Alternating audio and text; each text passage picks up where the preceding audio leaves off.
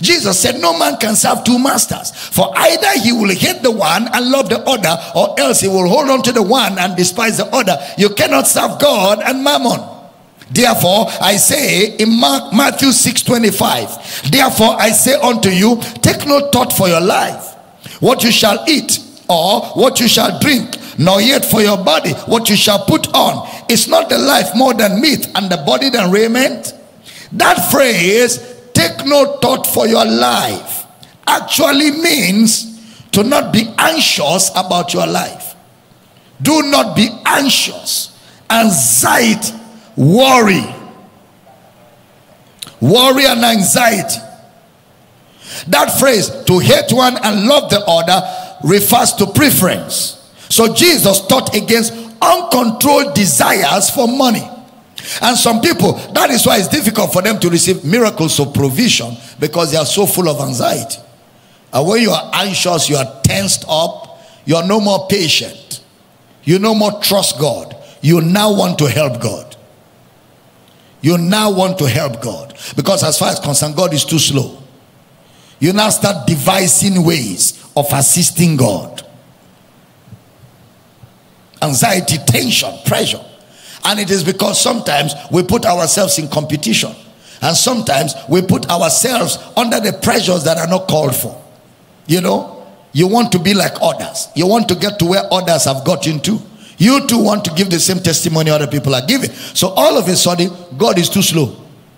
God is not trying enough. And when you bring yourself under that environment, you hinder yourself from experiencing the miraculous. You stop the miraculous because you're no more in faith. You can't be in worry and be in faith. you can't be in anxiety and be in faith. You can't be under tension and be in faith. Faith is rest. I've never seen anybody resting under tension. the man is resting and he says, ooh. No, the man is not resting. The man is walking. When you rest, God walks. When you rest, God walks. And I believe there's a, there, there, you know, there are a lot of miracles of provision released within this week of teaching, and people must know how to receive it by resting. Resting doesn't mean joblessness. Resting doesn't mean do nothing. Resting means trust God. Trust God. And when you trust God, you're not under pressure and tension. And you know, in that scripture where we read in Matthew 6, he talked about the unbridled desire for money. The unbridled desire for money will lead to worry. You cannot serve God and money. And brother Paul reiterates this in First Timothy chapter 6 verse 7 to 11. First Timothy chapter 6 verse 7 to 11. For we brought nothing into this world and it is certain we can carry nothing out. And having food and raiment, let us therewith be content. But they that will be rich fall into temptation and a snare, and into many foolish and hurtful lusts, which drown men in destruction and perdition. For the love of money is the root of all evil, which while some coveted after, they have erred from the faith. They have they cannot stay in faith, therefore they cannot pray the prayer of faith because they have erred from the faith. And when you err from the faith, what is the next thing? They have pierced themselves through with many sorrows. So he said, believer, no more joy of salvation He's no more contented in Christ. Christ is too slow. Christ is not enough. He is under pressure, undue pressure. Why? Comparing themselves with themselves, they are not wise. Unbridled desire and uncontrollable appetite for the things of this world. He says, They have erred from the faith and pierced themselves through with many sorrows. But thou, O man of God, flee these things and follow after righteousness, godliness, faith, love, patience, meekness. So when we are worried, sometimes it's because of the love for things. When we love things, when we love money, when we love fame, we love relationships. The system of this world, what we call the world system, thrives in the uncontrolled passion for things. It thrives in the uncontrolled passion for things that will eventually lead us out of the will of God for our lives. You see yourself chasing after shadows.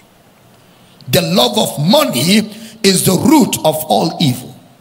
That is a desire to satisfy things at all cost will lead to several hurtful laws. That is an immoral appetite for money.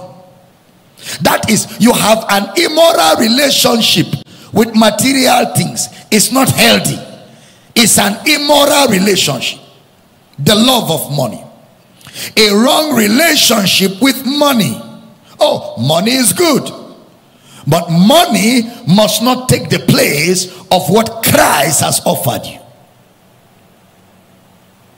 And you know, when people are like that, they get into things, for example, they begin to lie. They tell all kinds of lies, play all kinds of tricks, play all kinds of gimmicks. They take jobs that will not give you the time to serve God. You know what I'm talking about? They take jobs that keep them busy all the time. So they can't pray and they cannot serve God and they cannot study their Bible. Why? Because they're busy. And such people, when the devil releases a blow at them, they totally lose balance.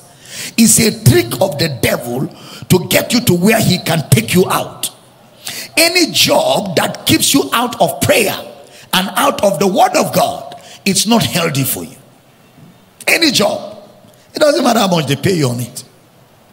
That takes you, you can't pray. You can't even study your Bible because you're working. it's the world system. It will take you out. It will take you out. It's just a matter of time. It will take you to a place where nobody is there to give you support. Then it will strike you where you cannot say in the name of Jesus. Because even when you're saying it, you yourself know that there is nothing inside. You are empty. In Jesus' name. In Jesus' name. In Jesus'. He's coming without strength. He has name. He can't even form the words. Can't even say in Jesus' name. It takes strength to form the words in Jesus' name. So because there's no Jesus' name, in Jesus' Then I say, I'm not hearing you. What? Name, in Jesus' name. say, I don't know here. I don't know here. I say here. I don't know here. I know Jesus. I don't know here. And the next thing is, he takes you out. He takes you out. You can't replace your place of serving God, the word of God, and prayer for anything in this world. Nothing is worth it. Nothing is. Is the life not more than raiment? Is life not more than raiment? Teaching good?